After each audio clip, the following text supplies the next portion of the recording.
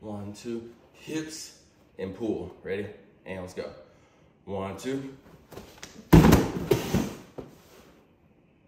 Well,